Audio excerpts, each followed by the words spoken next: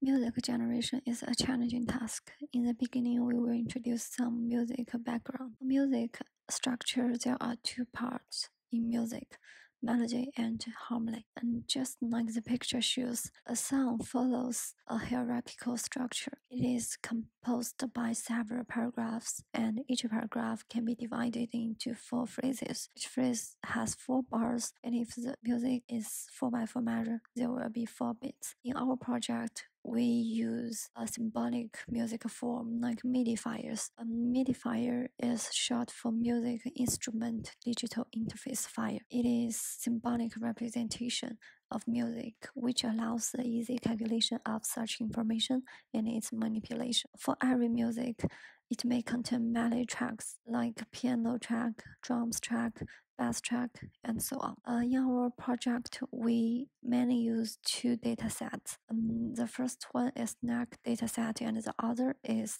Taylor's dataset. We collected more than 45,000 MIDI files in total. As for our project, based on the composition of a song, we want to generate a melody only based on given datasets. Any length melodies, we want to generate and accompany the melody with additional tracks to make it sound like a band with the usage of self-trained model. In the future, if the generated melody is matched with additional tracks, we want to match the song with lyrics and make it completed. Here we use Melody RN in our project. We use Melody RN to generate melodies based on our own data sets. Melody RN is a two-layer LSTM structure and its input and output are both melodies. With the usage of Melody RN, we can capture very essential information about the melody for our next recurrent neural network states based on RNN structure.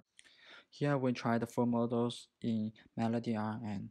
They are basic RN, mono RN, loopback RN, and attention RN.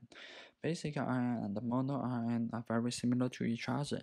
They both use one hot encoding method to extract the MIDI files, but basic RN apply constraints in the pitch of the MIDI file to be in range 48 to 84. Mono RN didn't apply any constraints, so mono RN has the whole pitch. Look back RN adds some additional information for one bar two bars ago. The second information is that whether the last event is repeating one bar two bars ago. So third information is the rhythm patterns, which map a unique number to a specific rhythm patterns. This information can easily repeat the patterns. Last one is attention RNN. Attention RNN uses previous state's output and uh, to get an attention mask. With this attention mask, we can get a weighted sum of previous state's outputs. And then we concatenate the outputs with current state's input as our new input for RN cell. So with this method, we can learn longer terms based on the structure. Here, let's listen some good results from our project.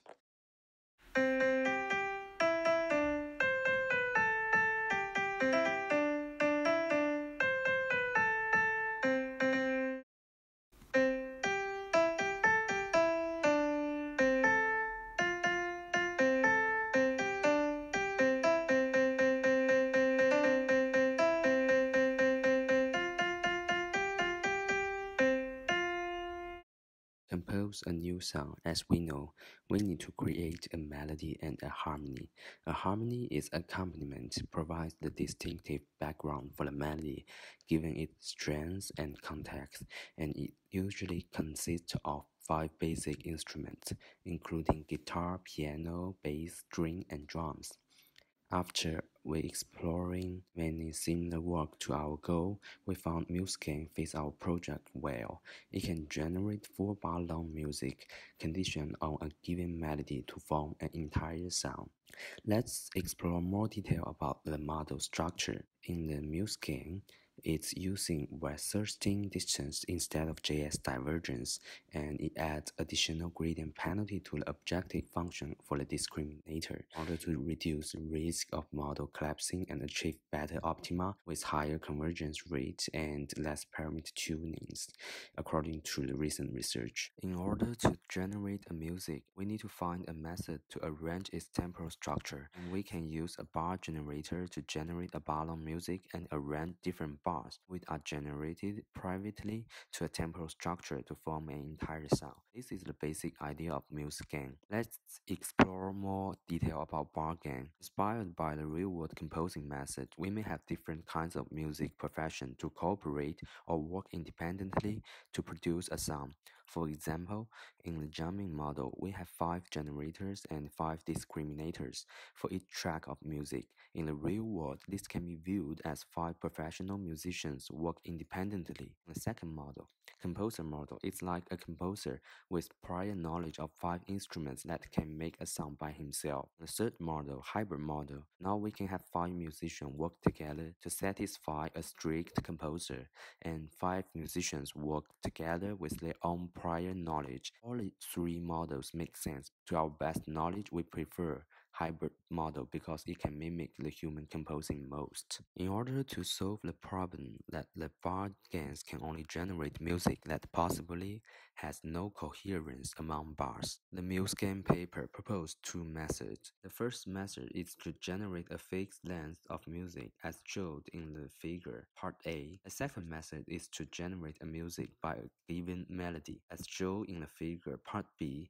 The input signal is a YT, which is a melody generated by the melody RNN. It goes through an encoder to capture the main temporal structure of the input melody, and in the meantime, we have another sequence of time ZT. The input signal for generator is the combination of these two input noise. Above figure is the system view of the MuseGAN. Now we need to extend to multi-track generation with some intra-track and inter-track issues and time dependency. For the inter-track information sharing, share the same information which is the ZT and Z in the figure above and ZT is a sequence of time can be viewed as a time dependent input and Z, a constant variable, can be viewed as a time independent input. For the inter-track information, each track has its own private input source ZIT and ZI. ZIT is a sequence of time and track, thus is a time dependent input for the generator, which can capture the temporal structure for each track.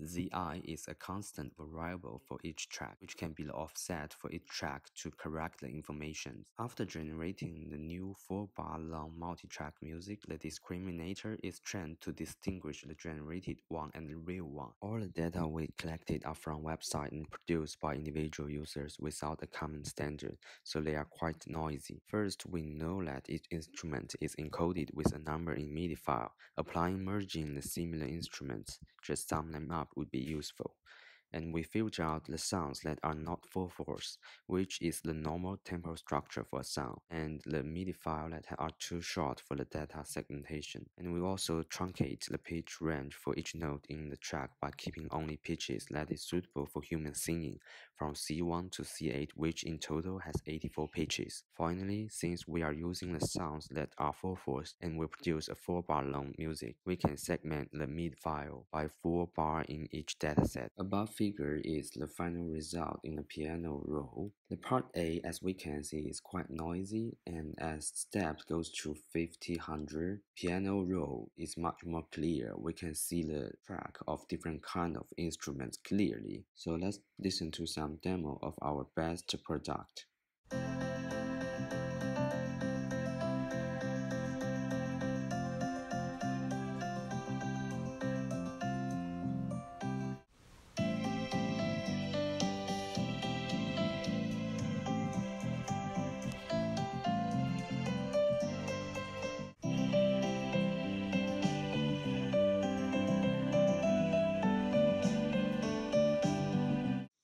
So in total, after getting a basic understanding of different models from different papers, we concatenate melody and the MuseGAN together to generate a multi-track sound. First, we use melody RNN to generate only melodies with two new datasets. We start from processing the dataset and choose trainable parameter for our model to fit the dataset. And it turns out that loopback RNN and attention RNN do have better performance than basic and mono RNN. And then we try to accompany generated melodies with multi-tracks use MuseGAN. We code our own data generator to deal with different data sets and filters generated data to get a reasonable collection of the data. After processing the dataset, we tune different parameters for our model and get some good results.